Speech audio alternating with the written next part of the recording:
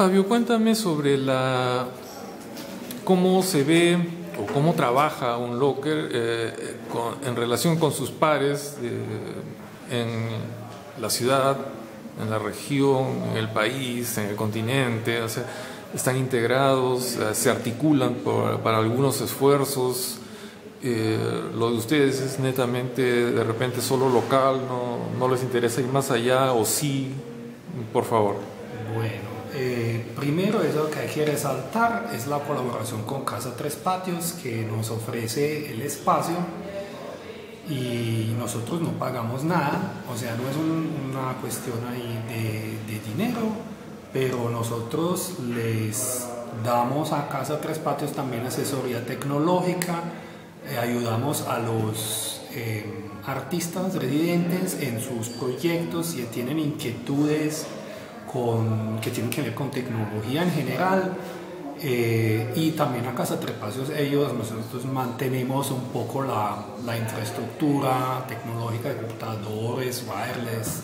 Hay una especie de simbiosis ahí. Es una simbiosis, diría. De hecho, el proyecto que te conté antes con las bibliotecas es operado por Casa Tres Patios. Y nosotros estamos trabajando por Casa Tres Patios, porque nosotros ni tenemos una entidad legal. Ok. Entonces a eso funciona, es, eh, la, eh, la, simbiosis es la perfecta mm, descripción de esto. Eh, también muchos de nosotros han participado en el Labsur Lab, donde hemos hecho talleres también o visitado simplemente los talleres de las otras personas y así interrelacionándonos con otras actividades que suceden a nivel de continente. Eh, con lo que va a la ciudad, el año pasado estuvo el Medelab, que fue un proyecto impulsado por el MAM, Museo de Arte Moderno de Medellín, y Ruta N, como para explorar los colectivos que operan en la ciudad y lo que ellos están haciendo y visibilizando eh, el trabajo de esa gente.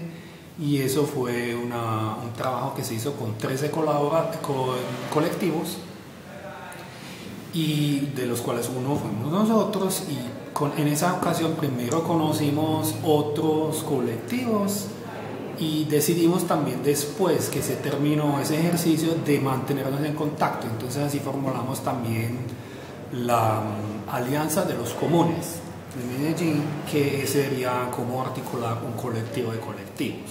Esa es la idea.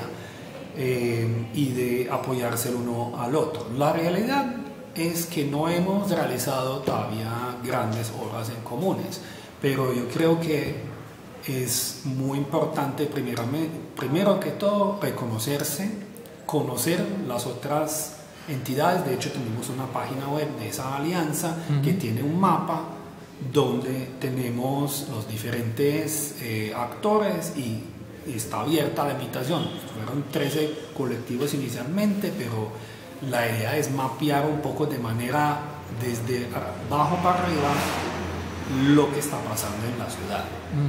Y en ese sentido sí eh, está como el esfuerzo muy pronunciado de conectarse con otras, con otras actividades y otros colectivos y, y ver a eso a dónde llega.